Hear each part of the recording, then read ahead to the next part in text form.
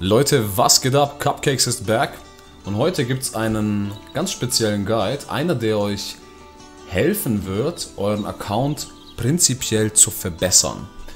Mehr CC, richtig investieren, richtig Gear bauen etc. Und wir schauen uns gleich mal den ersten Punkt an und das sind die richtigen Supporter. Tatsächlich kann man bei Supportern ganz schön viel falsch machen, wie ich euch gleich zeigen werde. Nehmen wir als Beispiel King sowie Jericho, zwei Charaktere, die oft benutzt werden. Jericho beispielsweise hat als Supporter mit einem Assoziationsbonus, das sieht man an diesen goldenen Symbolen neben Bahn, Gustav, Hellbram und auch Julia, einen Bonus auf Stats. Beispielsweise Abenteurerbahn gibt 12% Lebensdiebstahl, während zum Beispiel Gustav die Regenerationsrate erhöht. Das hier ist erstmal sekundär. Wichtig sind zwei andere Fakte. Erstens, wenn es einen kombinierten Angriff gibt für einen erhöhten Multiplikator auf den Ulti, sollte dieser präferiert werden. Deswegen ist Julia hier schon mal wichtiger als die anderen beiden. Ist erstmal ein No-Brainer. Hier allerdings kann man beispielsweise so wie ich zu Beginn in die SSR Julia, die ja von der Rarität höher ist und von den Base Stats besser, habe ich erstmal in die hier investiert auf 5 Sterne Level 60, ähm, was eigentlich total für den Arsch war, denn tatsächlich ist in diesem Fall die SR Julia die schlauere Variante gewesen, denn wie man sieht hat sie denselben Assoziationseffekt von 280 Angriff, wie auch diese Julia, mit demselben kombinierten Angriff, aber mit dem großen Vorteil oder Unterschied, dass die Basiswerte, die sie wiederum der Jericho gibt, um ganze 10% erhöht sind, gegenüber Standard Julia um 5%. Das sieht man hier unten. Und warum ist das so? Wie hier steht, entsprechend der, des Levels ultimativer Move erhält man mehr Basis-Stats. Und die SR Julia kann man sehr leicht mit goldenen Münzen auf Max bringen und dann ploppt die halt gleich mal 10% Stats raus und nicht 5. Ergo deutlich stärker. Man sieht sie auch ganz salopp. 11.600 Angriff, 5.000 Death, 84.000 Leben mit dieser Julia, während wir 700 Attack weniger, 300 Defense weniger und fast 6000 Life weniger mit der anderen Julia haben. Gut, die ist nicht 6-Star und die ist Level 70, äh Level 60, aber nichtsdestotrotz der Unterschied lässt sich nicht von der Hand weisen. Ein weiterer Vorteil ist kombinierter Angriff. Gibt übrigens noch eine Kampfklasse von 1000 on top dazu, was für PvP sehr relevant ist, denn wer mehr Kampfklasse hat, also mehr CC, der hat natürlich den ersten Zug. Ne? Von daher immer schauen, in wen ihr investiert und wenn es Sinn macht, dann nimmt die SR-Variante, es sei denn, ihr habt einen Haufen Dupes herumliegen, beispielsweise Diane in diesem Fall, hat einen kombinierten Angriff mit einer Kampfklasse von 1000, wenn es sie bzw. Matrona ist, bei dem King. Während diese Diane zwar 10% Stats gibt und einen Assoziationseffekt, allerdings keinen kombinierten Angriff. Hier muss man abwägen. Ne? Laut Kalkulation von Leuten, die ich mir angeschaut habe, ob die wirklich so legitim sind, sei mal dahingestellt, aber angeblich lohnt sich das in diesem Fall bei beispielsweise King trotzdem mehr, die SR-Variante ohne kombinierten Angriff zu benutzen, anstatt die wacke SSR-Variante, bei der der Ulti von ihr auf 0 ist und sich 5% Stats gibt. Bis zu einem, also so der Breaking Point ist wohl 3 von 6. Sprich, sobald man zwei Duplikate, zwei Münzen benutzt in die SSR-Variante, wird diese wohl stärker als die SR-Variante bei 6 von 6. Ich hoffe, es war jetzt verständlich. Ähm, aber ja, da halt schauen. Ne? Für PvP ist Kampfklasse besonders wichtig. Gerade der Ulti-Damage von King macht natürlich sehr, sehr viel aus im PvP. Da würde ich auf jeden Fall beispielsweise diese Karte lieber spielen. Ansonsten für PvE wäre die, finde ich, besser für King. Als nächsten Punkt auf der Agenda haben wir Erweckungssteine erhalten. Ich zeige euch das einfach mal, weil ich da ein bisschen was vorbereitet habe. Ähm, tatsächlich kostet diese Methode Geld und Aufwertungssteine, macht aber dennoch Sinn, sofern der RNG euch nicht screwt. Und zwar, bevor wir Ausrüstung zerlegen, SSR-Ausrüstung, können wir diese auf plus 5 appen auf 0 Sterne, so wie ich es hier gemacht habe. Wenn wir das tun, erhalten wir mit einer erhöhten Chance Erweckungssteine von 4 und sogar 5 Sterne Rarität. Explizit 5 Sterne ist hier unser Fokus. Tatsächlich bekommen wir beim Zerlegen von einem plus 5 SSR-Gegenstand, wie man hier sieht, 10 von diesen Aufwertungssteinen zurück. Investieren müssen wir allerdings 25, also 5 mal 5, um das Ding erstmal auf plus 5 zu bringen. Klingt erstmal wie ein schlechter Deal. Da wir allerdings die Aufwertungsstein, 5 Sterne Aufwertungsstein Drop dadurch ziemlich erhöhen, ich habe leider keine genauen Zahlen, aber gefühlt macht es einen großen Unterschied, ist es das schon wert. Auf der anderen Seite bekommen wir beim Super- und Ultra-Erfolg bei Diane, also beim Zerlegen, eine erhöhte Anzahl von diesen Steinen zurück. Und wenn es ein Ultra-Erfolg ist, wo es die doppelte Menge gibt, investieren wir somit fast gar nichts. Werden wir uns gleich mal ansehen. Allerdings bevor wir zerlegen, ähm, diese Ausrüstungen zum Zerlegen farmt ihr am besten, während wir ein Event haben, wo es 50% äh, weniger Ausdauerkosten gibt auf den freien Stages, also im freien Kampf. Und indem wir hier auf den Knopf Ausrüstung bei Kampf gehen, starten wir eine Quest, bei der es nach 8 Runs automatisch eine garantierte SSR Drop gibt. Denn SSR Drops haben nur 3% Droprate. Und dadurch können wir dem schlechten RNG damit ein bisschen entgegenwirken. Sprich, wenn es mal 2-3 Tage lang 50% Rabatt gibt, dann nutzt die freie Zeit, die ihr habt und macht diese Quests hoch und runter. Ähm, Im besten Fall für das Set Angriff und das Set Verteidigung. Wieso für diese beiden? Übrigens Leben ist auch so ein Kandidat. Sagen wir diese drei also. Diese drei aus dem Grund, weil das die drei Sets sind, die ihr am meisten benutzen werdet bei den meisten Charakteren. Denn Defense das Offset für praktisch jeden, mit wenigen Ausnahmen, dazu kommen wir aber später. Während Attack und Health Set die To-Go-Vierer-Sets sind für Angreifer bzw. Supporter. Und ein toller Nebeneffekt von diesem Farmen, ähm, wo wir als Fokus ja die Erweckungssteine haben vom Zerlegen, ist auch der Fakt, dass wir ab und zu mal über Equipment stolpern, das ja tatsächlich wirklich hochwertig ist. Und bevor ihr etwas zerlegt, das ist ganz, ganz wichtig, prüft bitte erstmal, ob das Zeug Trash ist oder nicht. Die meisten werden Trash sein. Moment, das war der falsche Held. Allerdings gibt es auch Ausnahmen. Beispielsweise in den letzten zwei Tagen, oder streng genommen einen Tag, ich habe eigentlich nur einen Tag wirklich gefarmt, ähm, sind diese vier Ausrüstungsteile gewesen, sowie zwei, drei weitere, die ich jetzt noch nicht ausgerüstet habe. Die habe ich auch gleich gesperrt.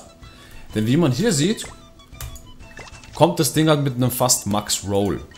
Ja, genauso wie die Halskette hier, die ist sogar eindeutiger Max Roll.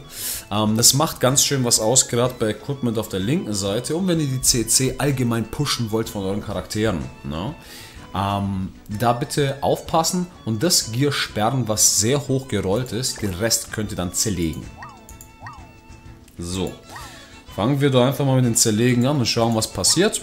Ähm, beim Super- und Ultra-Erfolg wird es sich auf jeden Fall rentieren. Wenn wir Pech haben, vielleicht eher weniger. Schauen wir doch mal. So, dann wählen wir doch mal das hier aus.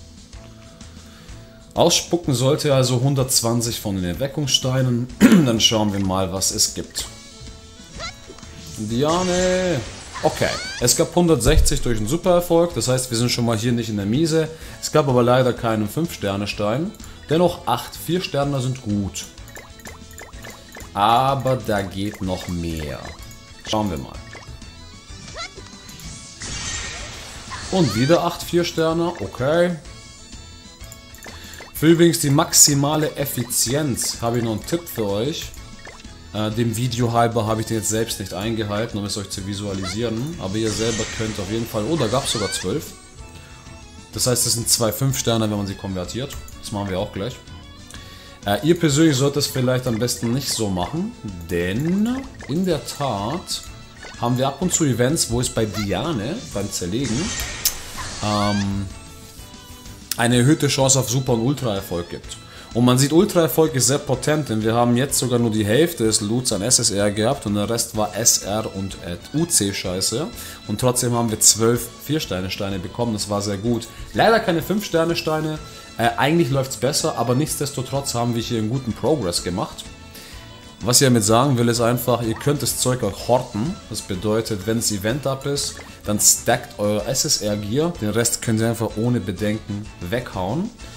Erhöht eure Tasche, damit ihr ein bisschen Platz habt, wie ich zum Beispiel hier auf 175.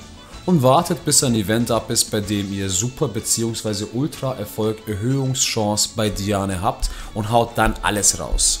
Dann ist das auf jeden Fall sehr, sehr wertvoll. So. Ihr könnt übrigens auch ähm, diese Technik anwenden, wenn ihr 50% Rabatt bei Bosskämpfen habt. Ist ja auch jeden Monat ein, zwei Mal gefühlt so. Denn Bosse droppen ja auch Gear. Und zwar diese Kugeln. Die Runen. Und auch hier könnt ihr, wenn ihr sowieso gerade Lebenswasser und Dämonenblut farmt, wenn der Boss auf 50% Rabatt ist, die Kugeln nehmen zum Mitfarmen. Hier auch wieder schauen wegen Max Roll, sobald ihr beginnt die rechte Seite mit SSR aufzufüllen. Und ansonsten auch das wieder zu horten und später zu zerlegen, wenn es auf plus 5 geholt wurde. Da 4 Sterne Erweckungssteine praktisch nutzlos sind, zumindest in meinen Augen, weil entweder benutzt ihr SSR Gear oder UC bzw. R Gear. Sprich SR Gear ist hier irgendwie so der, ja, der Elephant in the Room, sage ich mal. Das Zeug ist halt einfach da. 4 Sterne Steine könnt ihr einfach nehmen und daraus, so wie ich jetzt, 6 Sterne, Entschuldigung, 5 Sterne Steine bei King tauschen um dadurch direkt Progress zu machen. Also auch hier, wenn ihr einen Haufen 4 Sterne Zeug bekommt, ähm, ist nicht so schlimm, könnt ihr umtauschen. Jetzt müsst ihr schauen, wenn ihr primär auf R-Gear geht, wozu ihr 3 Sterne Steine braucht, würde ich erstmal nicht konvertieren in 4 Sterne, weil sonst könnt ihr kein R-Gear appen. Wenn ihr auf UC-Gear geht, dann natürlich eher schon, weil dann braucht ihr nur 1 Sterne Steine. Bleibt euch überlassen. Nächster Punkt ist Ausrüstung. Ein sehr wichtiger, sehr großer Punkt. Hier kann man nämlich auch sehr effizient umgehen mit Ressourcen. Beispielsweise ist es empfehlenswert, erst einmal Gear zu bauen, das Pi mal Daumen die meisten Helden querbeet benutzen können. Beispielsweise Set Angriff und Verteidigung kann fast jeder DD benutzen mit Substats, Attack und oder Durchdringen, eher Attack.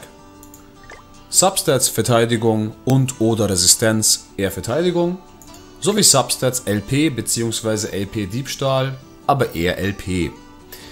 Ähm, wenn ihr so SSR-Gear mit hohen Mainstats habt, das ihr jetzt anfangen wollt zu bauen für die linke Seite, dann investiert am besten erst einmal in Gear, wie gesagt, dass ihr auf mehr als einem Helden tragen könnt. Ihr solltet außerdem erst einmal in vier Gear Sets, sprich für ein gesamtes Team investieren und das pushen auf 5 Sterne mit Ambossen rerollen, bevor ihr anfängt querbeet für 15 Helden 2 Sterne halbgegartes Gear zu bauen. Das bringt nichts. Denn tatsächlich ist es zwar ein bisschen nervig, Equipment hin und her zu tauschen, aber es ist halt deutlich effizienter. Und so habt ihr nicht nur ein starkes PvE-Team, sondern vor allen Dingen auch ein stark aufgestelltes PvP-Team, wenn ihr beispielsweise Geared PvP spielen wollt. Na? Ihr solltet mit der linken Seite SSR auf jeden Fall anfangen. Die rechte Seite würde ich erst machen, wenn ihr mindestens ein ganzes Set, sprich vier Sets ähm, von SSR auf der linken Seite voll habt. Es gibt auch ein paar Ausnahmen, wie beispielsweise Hauser. Denn Hauser in der Tat skaliert sehr sehr gut mit Durchdringen, weswegen ich beispielsweise hier bei seinem Gear auf Durchdringen gegangen bin. Ähm, oder eine weitere Ausnahme wäre Jericho. Ups, das war die falsche Jericho. Denn Jericho funktioniert sehr sehr gut mit Crit Schaden. Ne? Deswegen hat sie auch zum Beispiel ein Crit Damage Set hier und hier sind eins oder zwei Rolls in Crit Damage reingegangen. Ja, von daher müsst ihr halt schauen. Macht auf jeden Fall Sinn, so das Zeug hin und her zu moven.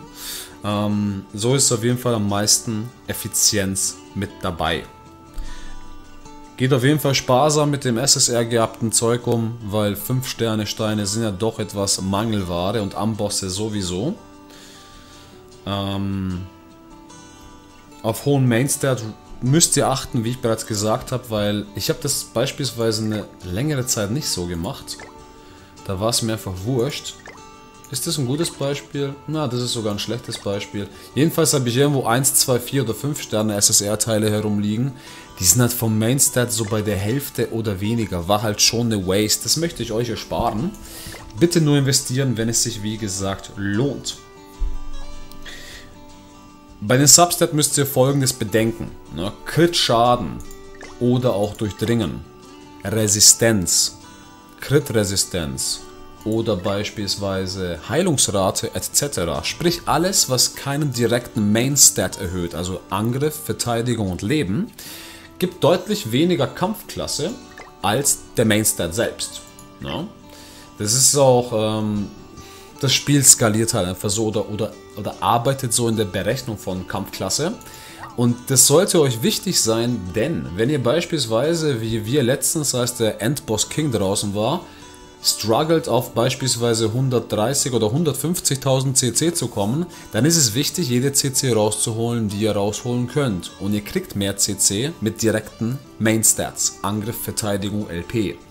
Also das bitte bedenken. Ebenso ist es wichtig für PvP, denn tatsächlich, ähm, wenn ihr zum Beispiel Guild PvP spielt, der erste Zug ist in den meisten Fällen ein Vorteil. Nicht immer, aber meistens.